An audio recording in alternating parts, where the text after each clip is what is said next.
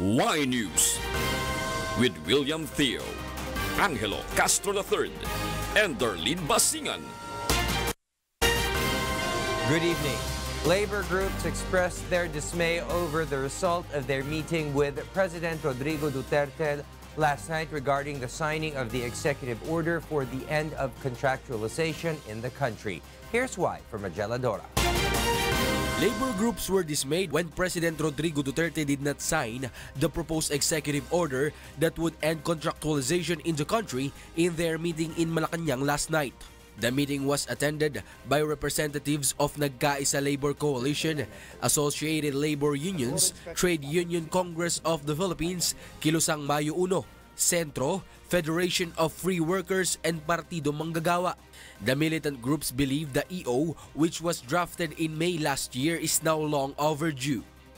Nalungkot at uh, siyempre may galit dahil paulit-ulit naman na yung meetings namin at uh, yun nga, napaasa kami kahapon dahil marami nang uh, naganap na pag-ipag-usap sa Secretary of Labor. Hindi pinirmahan ni uh, Presidente Duterte at ang aming fear nga dyan ay yung, yung time na hinihingi, uh, mawawater down dyan ha, yung, yung version habang tumatagal.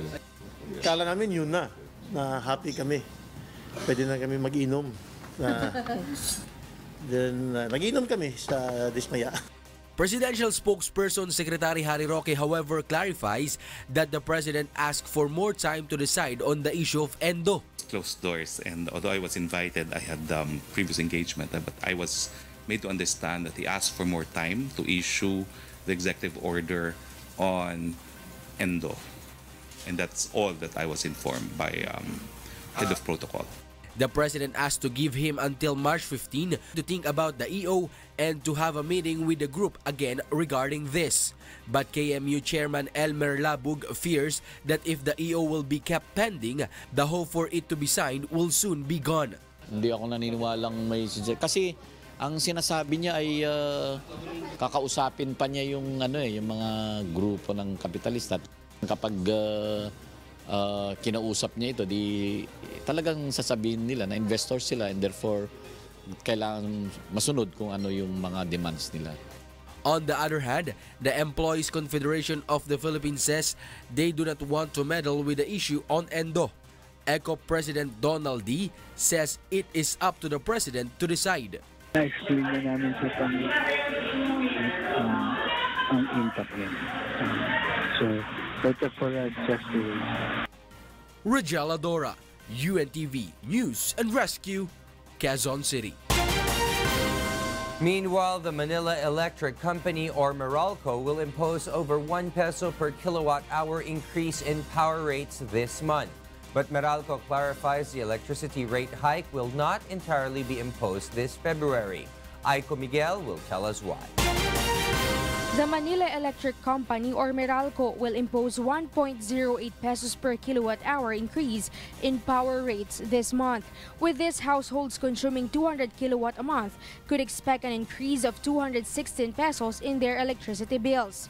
Those consuming 300 kilowatt a month will have an additional of 323 pesos.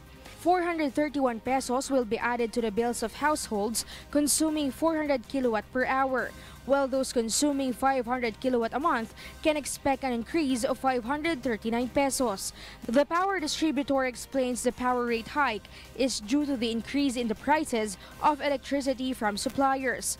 Adding to the rise in power rates is the weakening of peso and the additional taxes imposed on transmission charges because of the tax reform law. Meralco says it knows the power rate hike is too heavy a burden for Filipino families. That's why it decided to impose the electricity rate increase in several tranches. Medyo may tumataas na mga bilihin, uh, nababalitaan naman natin yung mga upward adjustments din ng ibang basic products and services. Minabuti po namin na hindi implement ngayong February itong full impact na 1 peso and 8 centavos per kilowatt hour. The Energy Regulatory Commission or ERC also advised Meralco to take into consideration the welfare of consumers, prompting the power distributor to not entirely impose the power rate hike this February. Meralco will release this week the increase in the electricity bill of consumers this month. As much as possible, we, we would not want to de- to delay the bills. Uh, so we are we are trying to facilitate uh, the simulations of the options that we will take, ideally within the week. Meralco advises consumers to conserve energy to avoid getting higher electricity bills, especially since power rates normally go up during summer months.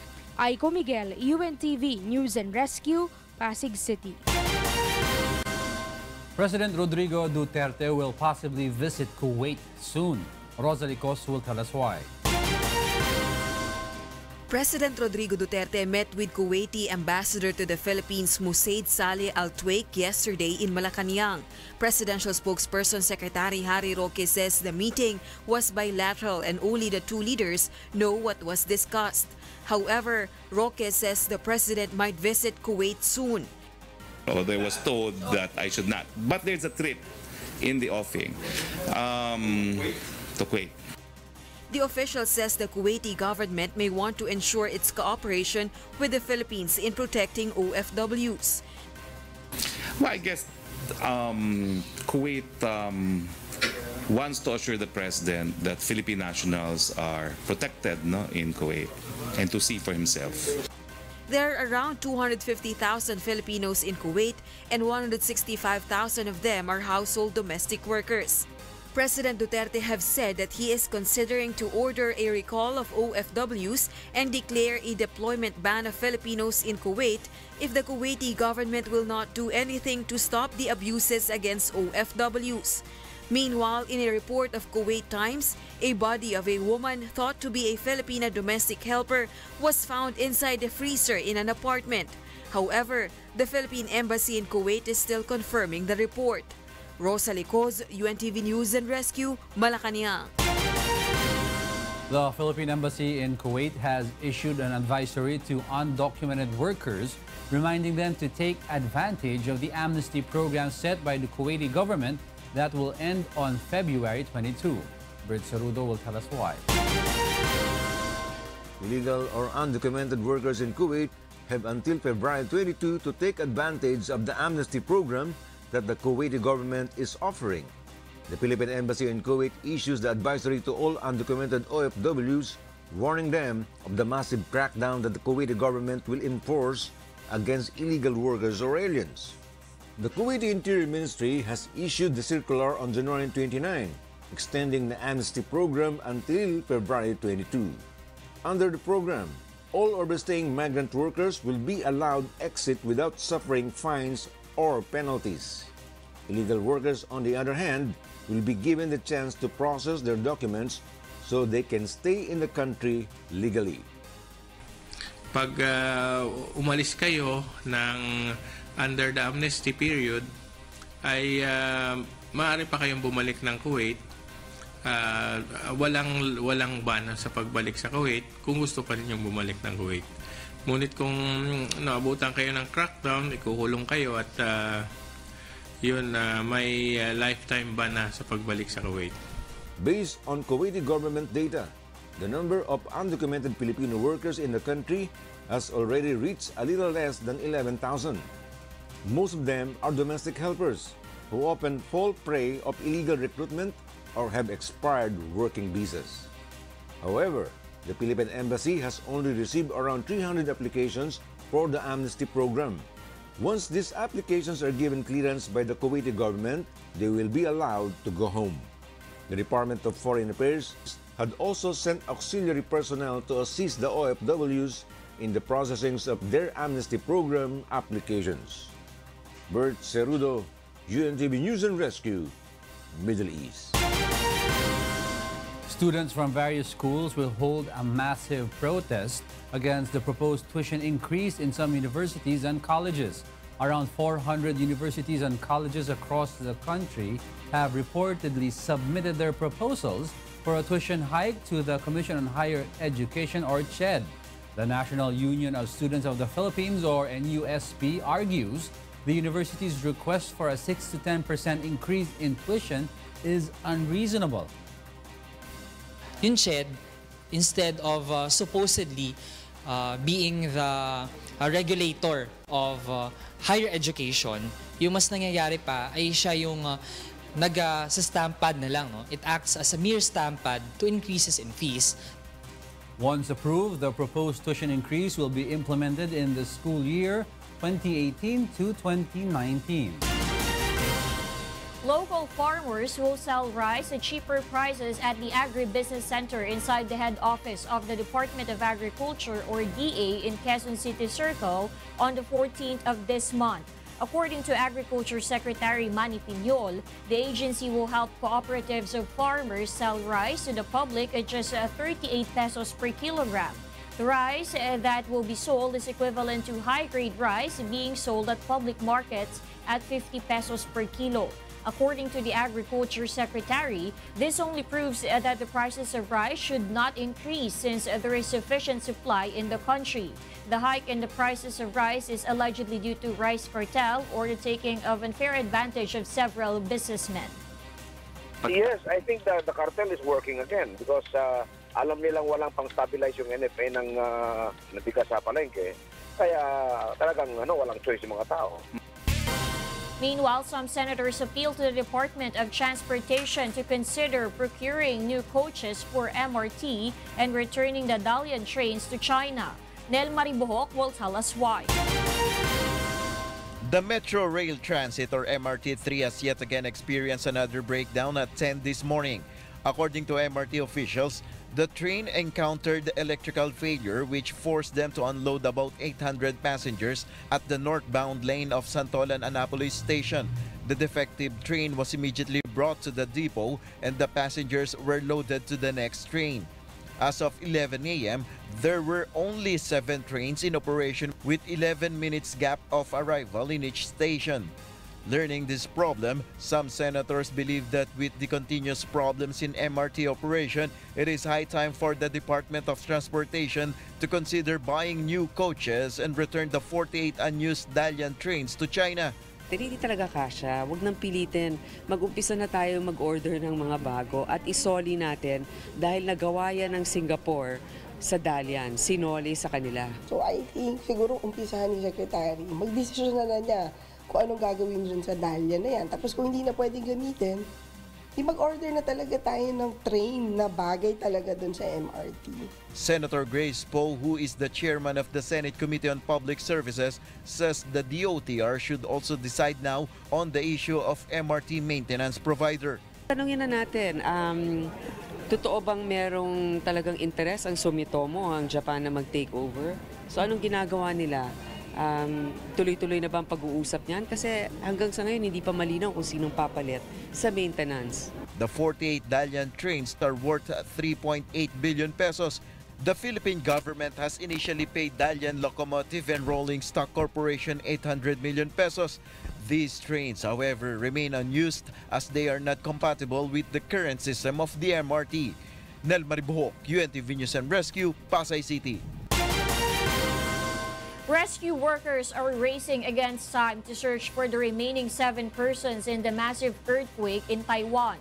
Meanwhile, a sad news for the Filipino community in Taiwan as the number of death toll from the massive earthquake reached 10 persons. Amiel Pascual is in Taipei, Taiwan to tell us why live. Yes, Amiel, go ahead. Yes, Darlene, it is indeed a sad news for us here in Taiwan as authorities already recovered the body of Filipino caregiver Melody Albano de Castro as confirmed by the Hualien County Disaster Response Center. As of 7 in the evening tonight, Hualien County Disaster Response Center has released the list of casualties since the rescue retrieval operation started. They are as follows.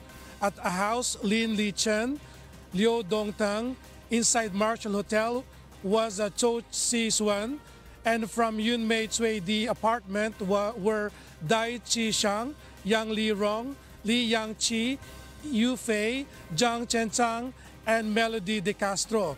The Manila Economic and Cultural Office has already sent its labor affairs attaché to the building to where Melody was working. It is also established contact with Melody's relatives in the Philippines. Na napaalam na sa kanilang sa kanyang uh, next of kin no sa ano sa Pilipinas. At uh, ngayon yung MECO staff ay nasa ano sa ospital at saka nakikipag-ugnayan sa authorities ng Walien uh, tungkol nga sa sa bangkay. Meanwhile, Taiwan's National Immigration Agency has, uh, has convened an emergency task force to assist foreign nationals whose travel documents have been damaged or lost in Tuesday's earthquake. The agency vows to reissue the national relevant documents free of charge. The agency adds that it is now in contact with foreign representative offices and travel agencies to provide assistance to foreign nationals who have been caught in the earthquake. Also, the immigration agency vows to assist family family members of victims to travel to Taiwan. Darlene, as of now, we are still uh, asking for updates as to what will be the next move of our labor representatives here in Taiwan regarding the body of Melody. But uh, Mr. Lito Banayo told us that they have informed Malacanang regarding this. That's our update. update. Back to you. Thank you, Amiel Pascual reporting live from Taiwan. Next on Why News. The International Criminal Court, or ICC, will conduct a preliminary examination on the anti-drug war of the Duterte administration. PHIVOLCS reports that danger level remains high near Mount Mayon despite the ease in volcanic activities. Why News will be right back.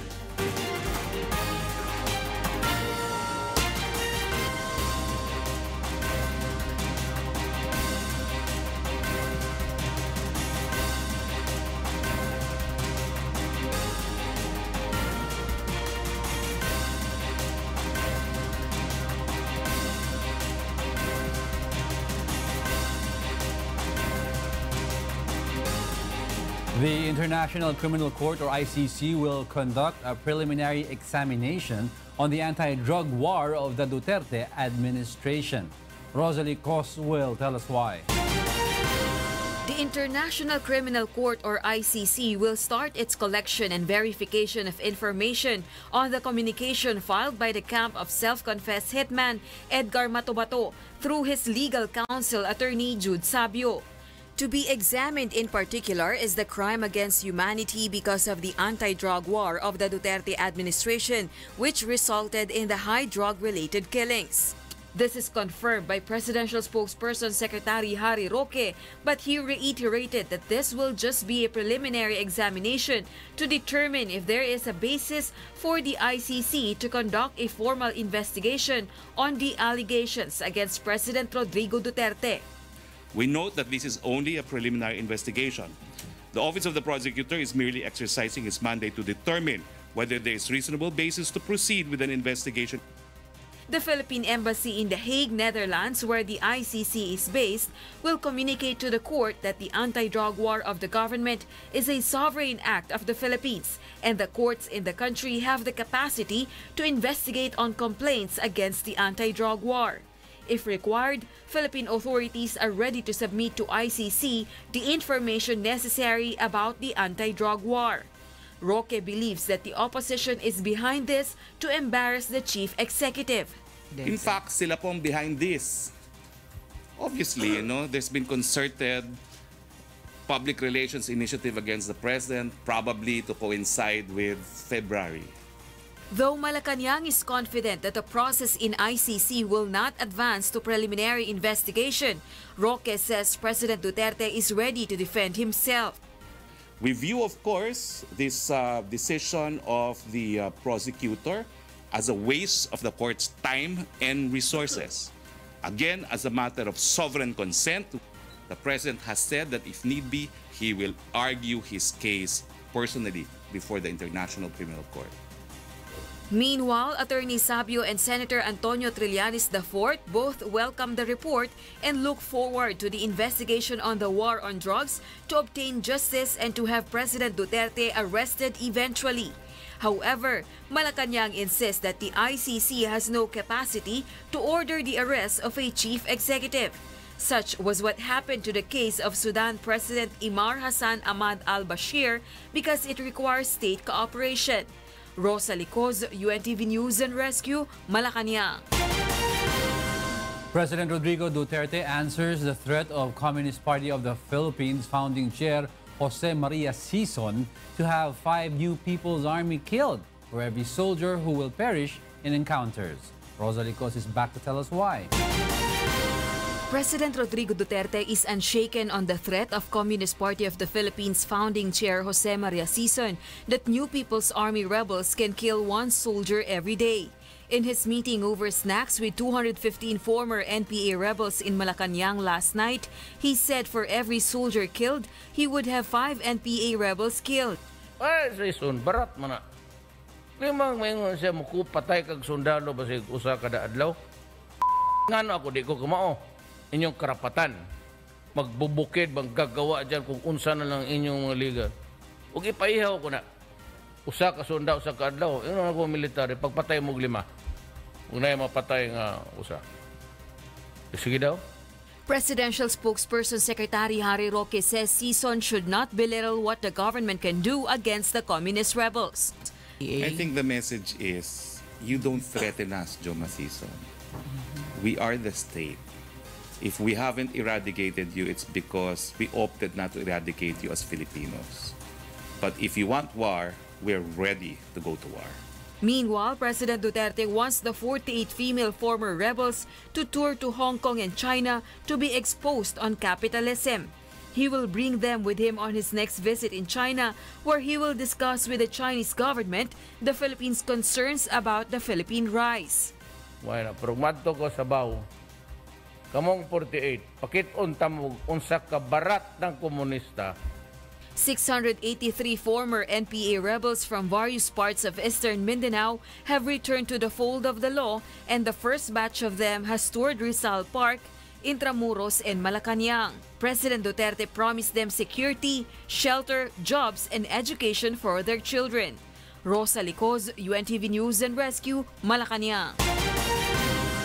The Philippine Institute of Volcanology and Seismology of PHIVOLCS still raises alert level 4 over Mayon volcano despite showing fewer signs of abnormalities in the recent days. Here's why from Monokson. One should not be deceived by the seemingly calm state of Mayon volcano. This has been the warning of the Philippine Institute of Volcanology and Seismology or PHIVOLCS. According to Undersecretary Renato Solidum, despite showing fewer signs of abnormality, the volcano remains dangerous. Solidum explains the public should not make as basis what their eyes see, but the data coming from the equipment of the agency. Base sa uh, instrumento maliban doon sa nakikita ay mas vigorous ang eruptive activity ng volcano sa ngayon. The FIVOC says it is considering two scenarios. First is the continuous spewing of lava like what happened in the previous weeks. Second is the blockage of solidified lava on the crater of the volcano that may create extreme pressure. The agency notes with the second scenario is the possibility of a strong eruption. In the recent days, Mount Mayon continued to spew lava fountain. In fact, PHIVOLCS recorded 153 episodes of lava fountaining this week alone. Since January 13th, the volcano released 70 million cubic meters of lava, This is higher compared to its previous eruptions in 1960 to the 2014. So itong nangyayari ngayon sa ngayon ay mas maigi na kaysa mabilis ang ilabas lahat, mas uh, mapaminsala ito at in the long term, kapag hindi lava ang inilabas kundi basag-basag or fragmented volcanic materials, ang potential impact ng lahar ay mas lumalaki. Next week will mark the first month since Mount Mayon spewed out lava fountains. Alert level 4 remains over the extended 8-kilometer danger zone around the volcano. Mon Hoxon, UNTV News and Rescue, Legazpi City, Albay. The Department of Labor and Employment has provided 60 million pesos worth of livelihood assistance for the victims of Mayon's activities. Meanwhile, the families of overseas Filipino workers in Albay receive cash and welfare relief assistance from OWWA. Here's why from May Bermudez. An additional 30 million peso fund was given by the Department of Labor and Employment or DOLE as a form of livelihood assistance for those affected by the activities of Mayon. This is aside from the initial 30 million peso fund for the Tulong Pangkabuhayan para sa mga displaced workers or TUPAD program. Yun yung sinasabi ko additional 30. 30 million, hindi na emergency employment yun. Livelihood na yon.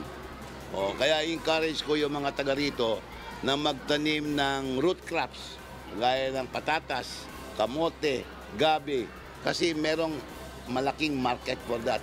Dole also pushes to increase the 290 peso minimum wage in Bicol to respond to workers' need in the region. Masyado nang mababa, dapat uh, 300 na. Trucks containing fresh vegetables were brought by DOLE to be given to the victims of the activities of Mayon. Meantime, 50 million pesos worth of welfare assistance program was given by the Overseas Workers Welfare Administration or OWWA as benefit to OFWs and their families in Albay. 500 families were initially given cash relief worth 3,000 pesos each. cash relief tayo, cash tayo kasi binibigay na natin sa mga pamilya ng OFWs ang kalayaan na gastusin yung pera. Kasi ibang government agencies, yun na yung relief goods. Even active or inactive OWA members may avail the cash benefit. All family members or OFW returnee may also avail the program. My Bermudez, UNTV News and Rescue, Legazpi, Albay. The local government of Albay creates communal gardens for the benefit of evacuees. Aiko Miguel will tell us why. Many evacuees in Albay are becoming more impatient. Most of them are used to have activities on their farms. This is why they are feeling bored staying at evacuation centers doing nothing. One of them is Islao Alaurel, who oftentimes returns to his home in Barangay Salungan in Kamalig, Albay, which is covered by the 6.5 kilometer extended danger zone. Sobrang inip. Sobrang inip talaga. Buti ako pag umaga, katrabaho na ako, pababa. Bumabalik ka. Babalik ko pa. With this, the local government of Albay decides to set up communal gardens. A lawmaker lends his 2-hectare land to evacuees in Ligao City National Technical Vocational High School. The said land is just beside the evacuation center and can be planted with vegetables. Teresita Belga is one of the evacuees who feel glad with the project. Ayo po, tapag na ano ba halimbawa po mapa lago me, o pwede nga harvest, pwede makatabang sa, sa mga kakaipuan may mga financial. This is why she already began planting pechay which she can harvest and sell within one and a half months. Although the evacuees receive sufficient supply of relief goods, they say it's still better to do something which could give them income. Talagang malaking bagay ito. Dahil pag nag-harvest, siyempre, yung iba kulang na pinansyal. Pwede na sila makakuha dyan. Ibibenta din na sa market. In the 3rd District of Albay, there are four communal gardens which are also the project of the local government. There are still more than 58,000 individuals staying at 63 evacuation centers in Albay. Aiko Miguel, UNTV News and Rescue, Philippines. The Bureau of Internal Revenue, or BIR, files tax evasion complaints against four companies before the Department of Justice, or DOJ. The BIR says it is going after Amber Bay Solutions Leasing, Ambrose Industries, La Chilo Cuisine, and the Power Generation of the Philippines for more than 181 million pesos and paid taxes. The Bureau has filed tax evasion complaints against 125 companies under its Run After Tax Evaders or RAID program under the Duterte administration. The Armed Forces of the Philippines or AFP Northern Luzon Command launches its program called Sundalo na Magsasaka pa at Camp Sir Villano Aquino in Tarlac City. Here's why from Aiko Miguel. The Northern Luzon Command of the Armed Forces of the Philippines has launched a project for its retiring soldiers called Sundalo na Magsasaka pa. AFP's partner in the implementation of the said program are the Agricultural Training Institute or ATI, Department of Agriculture, local government units, and several other stakeholders. It is an extension project of the Northern Luzon Command for retiring soldiers and their families. The program aims to prepare soldiers near their retirement age to return to their civilian lives. Ito po ay uh, yung para ma-execute po ang uh, Transition Assistance Program ng AFP o Armed Forces of the Philippines para matulungan natin yung mga retirees sa darating na panahon na sila ay lalabas ng serbisyo. Under the said program, the retiring soldiers will be taught about organic farming, goat racing, and knowledge on climate change mitigation and adaptation. Ah, napaka-importante because this is education. Oo. Hindi nga alam ng mga sundalo at even their generals how to ah, do far- farming the right way. Kasi may concept tayo ng pagtatanim pero outdated na yon. Dapat tuturuan tayo ng bagong technology, bagong mechanization, bagong ah, strategies. Several retiring soldiers are glad with the said program. They believe should the training become a success, they could focus on their new learnings upon leaving the camp. Pwede po siguro na mag-farming na lang ako after ng retirement kung maganda po yung training na mangyayari sa amin, magiging maganda yung output niya at uh, makikita namin na mas maganda sa farming, malamang sir, doon na lang po kami, mag-farming na lang siguro. lahat kami uh, excited na at uh, proud na naging uh, kasama dun sa estudyante. Pagdating ng araw, pag retired ko, uuwi kami sa probinsya at yung natutunan ko dito, i-apply ko doon balang araw. 50 soldiers will initially undergo the program where they will be monitored for two years. Aiko Miguel, UNTV, News and Rescue, Philippines. Several Lumad groups have staged a protest in front of the Supreme Court building. The group is opposed to the court's decision favoring the extension of martial law in Mindanao until December this year. They say the government is continually sending soldiers in their communities and their leaders have become victims of extrajudicial killings. Meanwhile, almost half a million pesos was stolen from a school principal in a love scam involving a Nigerian national who disguises as a woman. Robbie de Guzman will tell us why. A Nigerian national was arrested in an entrapment operation in Pasay City after he stole almost half a million pesos from alias Roger, a high school principal in Mindanao. The victim met the suspect via Facebook, who introduced himself as a member of the U.S. Army based in Afghanistan. According to alias Roger, they exchanged sweet messages and had a long distance relationship. However, Roger was shocked when the Nigerian national told him he will send $1.2 million or will give him 100 million pesos for his home in the Philippines and another $1 million for an orphanage project and a hotel and restaurant. However, before receiving the money sent via parcel, the principal will have to pay for some documents and clearance permit first. Police Senior Inspector Leopoldo Cahipe Jr. says it was a scheme called Love Scam and Black Dollar Scam. Bigla na lang lumitaw si Harry na na-hold nga raw yung ano, na-hold yung package ni Professor sa custom. Ngayon kailangan ng mga clearance para mailabas to. Yun ang doon lumitaw si Harry kay Professor.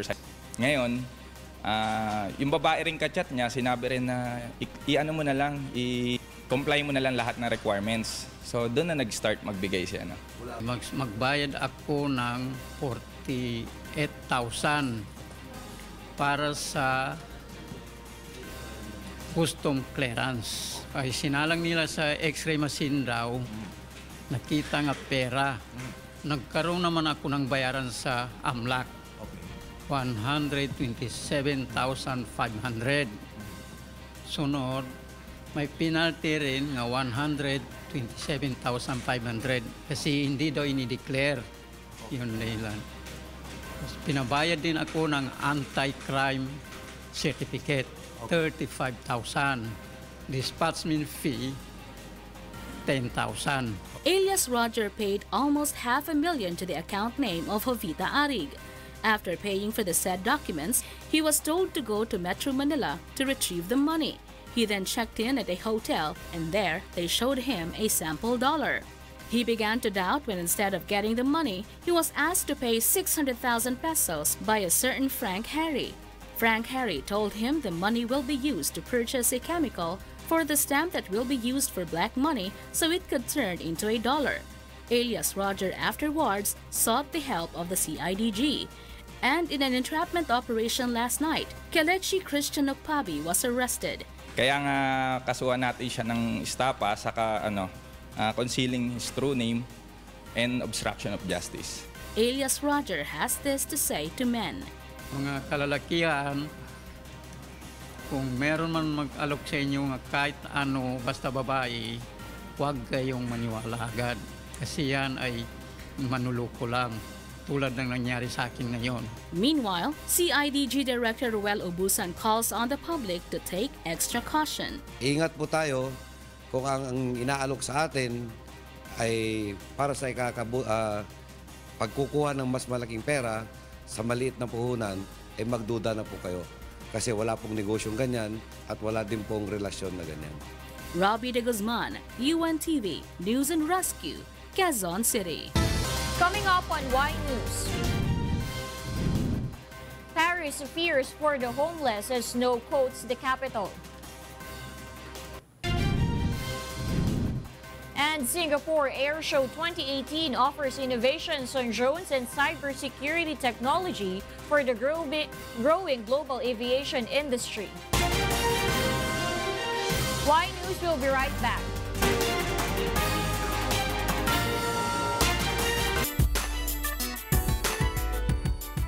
X Factor Australia Season 6 champion Marlisa Punzalan is back in the Philippines to continue her career in the country. Punzalan also admits being a fan of Wish FM. Robbie de Guzman tells us why.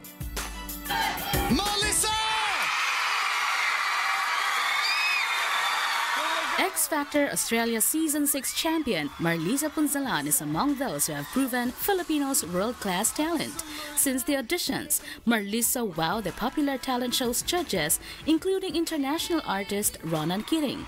She was the competition's youngest winner at the age of 15. After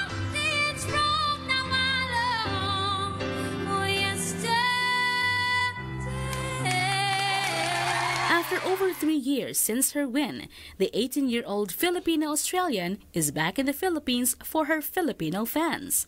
Back in Australia, I've been working how to songwrite my own songs, and um, yeah, I've, I've released a song. I'm going to be working on some cool projects here in the Philippines um, around uh, different shows here. And um, I'm also um, going to explore some stuff with Ronan Keating.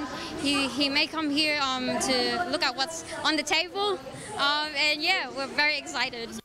Marlisa's big win became an inspiration to many, and now she has an advice to those who dream to be a singer like her. I just want to say to everyone who is trying to be um, achieving of their dreams, um, never ever give up. Always believe in God because He will always be there for you. And if you really love what you do, um, you'll keep going at it. Never give up. Marlisa is one of the guest performers in Wish 1075's 2 million times 2 Thanksgiving celebration for its 2 million YouTube subscribers. The young singer also admits being a fan of Wish. Big congratulations to Wish 1075 for um, the achievement of 2 million um, subscribers. It's amazing. Um, even me, myself, I always watch um, Wish. So thank you so much for having me on it. It's such a pleasure to be on, on the program. It was just like a movie. It was just like a song. Robbie de Guzman, UNTV, News and Rescue, Philippines. The ongoing Singapore Air Show 2018 provides a great platform for trade and exchange between aviation companies with a focus on drone technology. Here's why from Ani Mancilia. As the global aviation industry undergoes a major transformation, the Singapore Air Show, the largest of its kind in Asia in terms of exhibitors, opens on Tuesday with plans to showcase innovative technologies on drones and cybersecurity. The Civil Aviation Authority of Singapore and Airbus are promoting the Skyways drone delivery project, and CAAS has also joined with the Ministry of Transport to announce that the One North Business Park has been designated as a drone estate. A variety of innovations in drone technology are now in display the exhibit. One interesting type is that which use a tethered drone system for endurance deployment. A typical drone in the market lasts about 15 to 20 minutes, but a tethered drone can last from 4 hours even up to 28 hours. So usually our customer came from the police coast guard, the army, and also for emergency deployment. Or if this can be used in some rescue deployment, especially when there is a no communication relay, it can use as a relay, temporary relay station to relay communication. The drone is also equipped with its own light source or night vision capability for night use. So this is a, an area that in the past they have difficulty of flying drone at night inside a tunnel because they can't see it will crash. So with this, it will help to um, overcome the difficulties. In terms of airspace security, the air show features the anti-drone system. This is our super lightweight jammer system. You detect the drone, point to the drone, either you bring it down. If the drone is dangerous, carry a bomb or something, you want to send it home. So detection system and jammer system. To help aviation businesses look for novel innovations, the air show for the first time will include technology startups, with a total of 70 presenting their technology to potential partners. We're trying to look for opportunities to, uh, to do business with all these companies from all over the world. Flying teams in aircraft from various regions will put on spectacular aerial performances comprising complex maneuver and routines during the week-long exhibit. This year's Singapore Air Show will run until February 11. Annie Mancilia, UNTV News and Rescue, Singapore. And those are the reasons behind the news of February 8, 2018. I am William Thio. Reasons we deliver to you as they unfold. I'm Angelo Castro III. And I'm Darlene Basingan because we need to know we will always ask why. Thank you for watching Why News.